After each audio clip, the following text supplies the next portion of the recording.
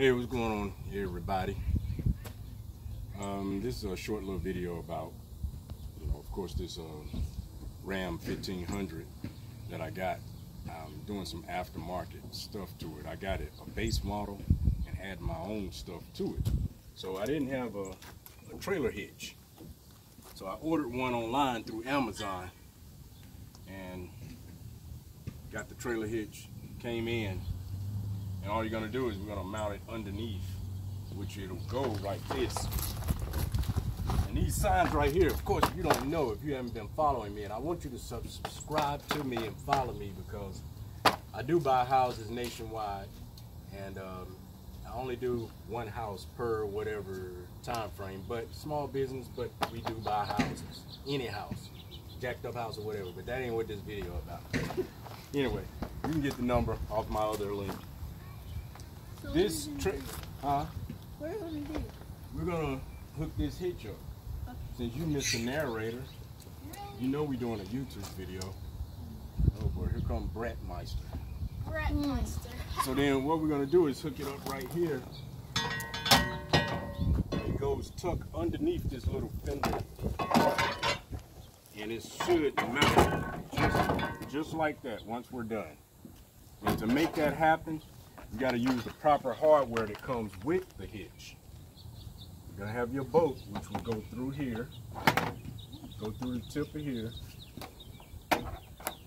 That's, that's how that works and it's going to screw down into here just like that and then the rest of it these plates will be held up you can't see my yeah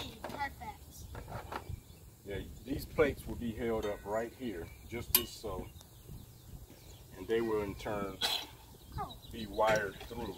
Take these bolts that will be wired through through the nozzle up through it's pretty simple. Go on a youtube and see a video to do it. I'm not going to take the time to do all that. But i just wanted to show y'all that this right here is a $40 investment whereas normal uh, hitches that you would go to a Leonard tire place or a uh, U-Haul place they're going to charge you roughly about um, really can I do a video by myself? You got to be the center of attraction all the time.